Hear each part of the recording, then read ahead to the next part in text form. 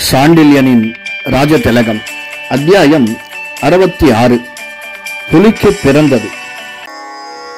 ரங்கபதாகா தேவி தன் பாசறைக்கு வர ஒரு முழு இரவும் பகலும் பிடித்ததற்கு காரணம் தனக்கு தெரிந்துவிட்டதாக கங்கமன்னன் கடும் குரலில் சீரியும் அதை பற்றி சிறிதும் லட்சியம் செய்யாத கங்க நாட்டு இளவரசி தனது அழகிய கண்களை தந்தையின் முகத்தில் மிக துணிவுடன் பதித்ததுமன்றி வில்லம்பினும் கூறிய சொற்கள் அம்புகளை மன்னன் மீது வீசவும் தொடங்கி நீங்கள் மன்னரா அல்லது ஒற்றரா?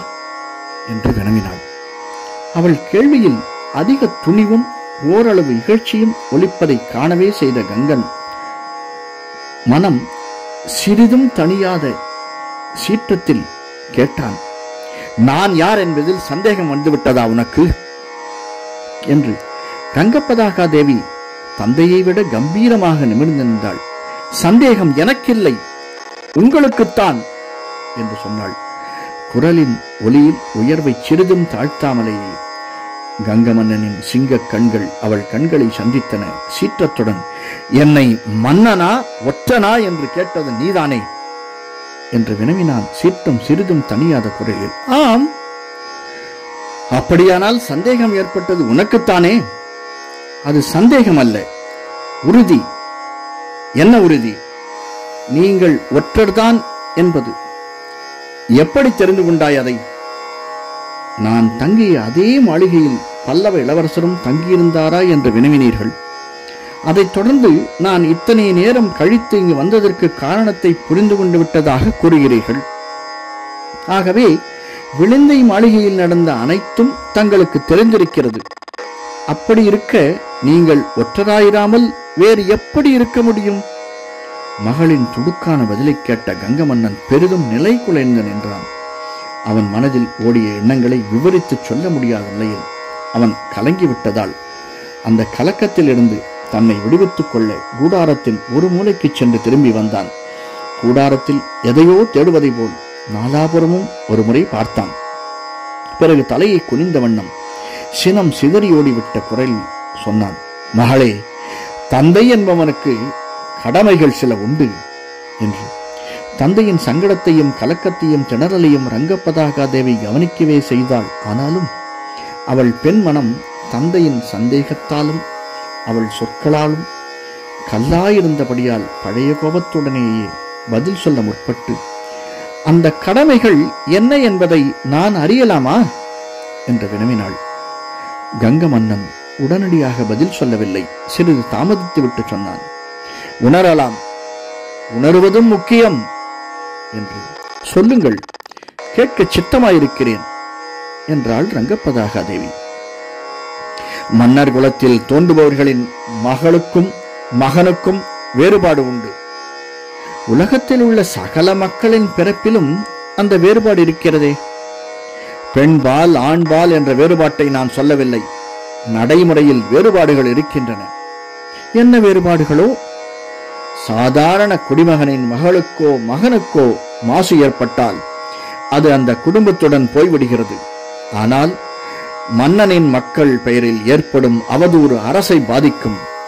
மாசு ஏற்படுவது மகனுக்காயிருந்தால் மகனை அரசு ஏறாதபடி தடுத்து விடலாம். ஆனால் மகளுக்கு ஏற்படுமானால் அது குலத்துக்கு இழுக்காகிறது அரசை பாதிக்கிறது. அதனால் குடிமக்களும் பாதிக்கப்படுகிறார்கள் என்ற கங்க மன்னன் ரங்கப்பதாகா தேவி மெல்ல ஏறெடுத்து நோக்கினான். ரங்கப்பதாகா தேவி தன் அழகிய வழிகளை நிலத்தில் ஓடவில்லை. நன்றாக ஏறெடுத்து தன் தந்தையை பார்த்தே இந்த விளக்கம் சரிதான் இதற்கும் எனக்கும் என்ன சம்பந்தம்? என்று வினவினாள். மகளே சொல்லுங்கள் தந்தையே நீ தண்டி மகாகவியின் மாளிகையில் இருந்தபோது ம் பல்லவ இளவரசனும் அங்கிருந்திருக்கிறான். ஆம் அப்பொழுது அவனை நீ சந்தித்திருக்க வேண்டும். தினம் தினம் சந்தித்தேன் பூஜை அறையில் அதை சொல்லவில்லை. வேறு எதை? மகளே ஒரு தந்தை மகளிடம் சொல்லக்கூடாத விஷயங்களை விவரிக்கச் சொல்கிறாய். இந்த பேச்சை நான் கிளப்பவே இல்லையே. இல்லை இல்லை. ரங்கப்பதாகாதேவி தந்தையை நோக்கி மெல்ல புன்முறுவல் செய்தாள். தந்தையே நான் ஒன்று சொல்லட்டுமா? என்று வினவினாள். அருகில் வந்து சொல் மகளே என்ற கங்கன் அவள் தோளில் தனது கையொன்றை வைத்தான் அன்புடன். சந்தேகம் என்பது பெரும் பிசாசு தந்தையே. ஒருவரை அது பிடித்து விட்டால் லேசில் விடுவதில்லை என்றாள் தேவி குழந்தை குரலில். ஆம் பெண்ணே என்றான் கங்க மன்னன் தந்தையே சிற்ப சாஸ்திரத்தில் மிக தேர்ச்சியுள்ளவர் பல்லவேளவன் வர்ணங்களை கூட்டுவதில் அவர் திறமை யாருக்கும் கிடையாது. அந்த இரண்டையும் அவரிடமிருந்து கற்க விரும்பினேன். அவரிடம் நான் கற்க விரும்பிய இரண்டையும் கற்க முடியவில்லை. காரணம் அவர் அங்கிய தங்கிய நாட்களே இரண்டுதான். தவிர அவருக்கு அவகாசமும் இல்லை. காஞ்சியிலிருந்து தப்ப முயன்று கொண்டிருந்தார் அவர். அதற்கு தண்டி மகாகவி ஏற்பாடுகள் செய்து கொண்டிருந்தார். அது மட்டுமல்ல உங்களுக்கு சாந்தி அளிக்கும் விஷயமும் இன்னொன்று உண்டு. என்ன மகளே? கங்கன் மகளின் தலையை தடவி கொடுத்தான். இளவரசர் தண்டி மகாகவியின் மாளிகைக்கு தனித்து வரவில்லை என்றாள் தேவி. வேறு யாருடன் வந்தார்? இந்திரவர்மன் தெரியுமா உங்களுக்கு? தெரியும். பிரதான ஒற்றன். அவர் மகள் மைவிழிச் செல்வியையும் அழைத்து வந்தார். அவள் மகா அழகி. அவளை பற்றியும் கேள்விப்பட்டிருக்கிறேன். கேள்விப்படாமல் இருக்க முடியாது. இளவரசர் அவளை உயிருக்கு மேலாக நேசிக்கிறார். ஆம் அப்படியும் கேள்வி. ரங்கப்பதாகாதேவி மெல்ல நகைத்தாள். ஏன் நகைக்கிறாய்? உங்களுக்கு தமிழ் மொழி நன்றாக வருகிறது தந்தையே. எப்படி தெரிந்து கொண்டாய்? அப்படியும் என்று சொல்லவில்லையா சற்று முன்பு? சொன்னேன். அந்த உம்மின் அர்த்தம் எனக்கு புரியாது என்று நினைக்கிறீர்கள். நான் உங்கள் பெண் அல்லவா? உங்கள் அறிவில் பாதி இருக்காதா எனக்கு? கங்கமன்னன் ஒரு வினாடி பேசாதிருந்தான். சில வேளைகளில் அறிவு குறைவாயிருப்பது நல்லது மகளே என்றான் கடைசியாக. ஆனால் ரங்கப்பதாகாதேவி விடவே இல்லை. ஏன் அப்படி? என்றாள். அறிவு குறைந்தால் ஊகம் குறையும். ஊகம் குறைந்தால் பல விஷயங்கள் காதில் பட்டாலும் புரியாது இருக்கும்.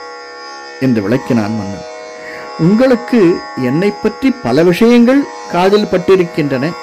அதை புரிந்து விட்டு விட்டதால் கஷ்டப்படுகிறீர்கள் என்றாள் ரங்கப்பதாகாதேவி தந்தை பதில் சொல்லாதிருக்கவே அவரிடமிருந்து விலகி கூடாரத்தின் கோடியில் இருந்த பந்தத்துக்கு அருகில் சென்று தன் முகத்தில் வெளிச்சம் நன்றாக படுமுடி நின்று கொண்டு தந்தையே என்னை நன்றாக பாருங்கள் என்றாள்.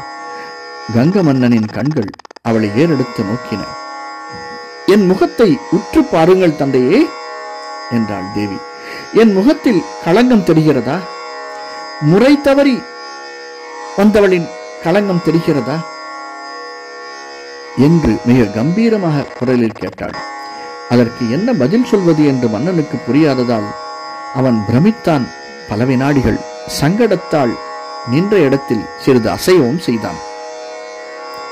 ரங்கப்பதாகா தேவியே கம்பீரமான குரலில் பேசினாள்.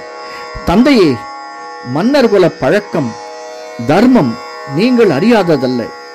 எனக்கு மட்டும் மனம் இருந்தால் நான் பல்லவ இளவரசரை காந்தர்வ மனம் செய்து கொண்டு பல்லவர்களிடமே தங்கியிருக்கலாம்.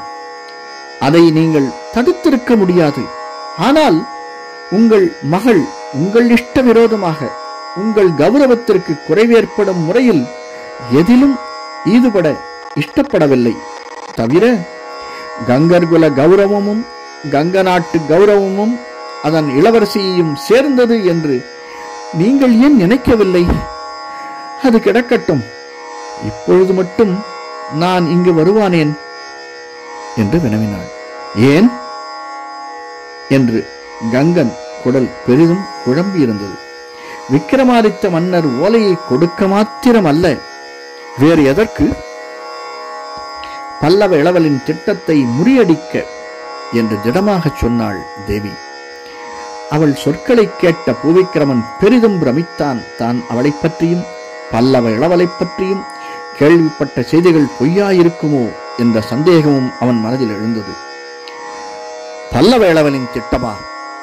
என்று வினவினான் மகளை நோக்கி. ஆம் பல்லவ இளவல் போர்த்தந்திரங்களை நன்றாக அறிந்தவர் அவர் எந்தவித திட்டத்தை வகுத்து எத்தகைய போரில் இறங்குவார் என்பதை என்னால் ஊகிக்க முடியும்.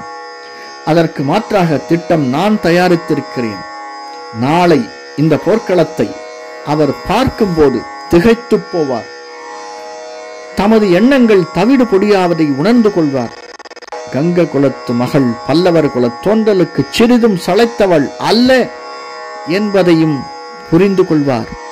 என்று வீராவேசத்துடன் கூறினாள் ரங்கப்பதாகாதேவி. அத்துடன் அந்த திட்டத்தை விவரிக்கவும் தொடங்கினாள். அவள் திட்டத்தை கேட்ட கங்க மன்னன் அசந்தே போனான்.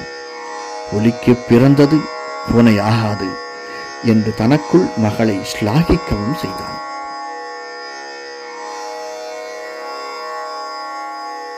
நன்றி. இந்த காணொலி பிடிச்சிருந்ததுன்னா லைக் பண்ணுங்கள் சப்ஸ்கிரைப் பண்ணலாம் சப்ஸ்கிரைப் பண்ணுங்கள் ஷேர் பண்ணுங்கள் வணக்கம்.